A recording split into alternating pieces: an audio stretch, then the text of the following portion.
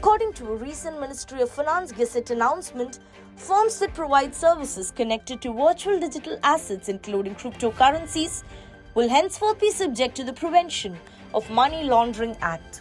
This means providing services related to trading in VDA fiat, VDA VDA, or storing and managing VDA will be dealt with under the PMLA.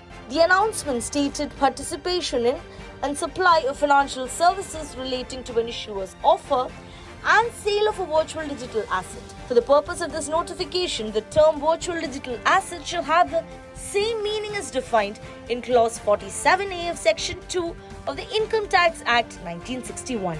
Failure to pay TDS on crypto transactions or crypto transactions if the payment is partially or entirely in kind under Section 194S1 might result in a seven year prison sentence. Finance Minister Nirmala Sitharaman promised 30% income tax on profits from the sale of VDAs, including cryptocurrencies and NFTs, in the Union Budget for 2022 2023. Moreover, a 1% tax deducted at source was imposed on the transfer of VDAs under Section 194S of the Income Tax Act.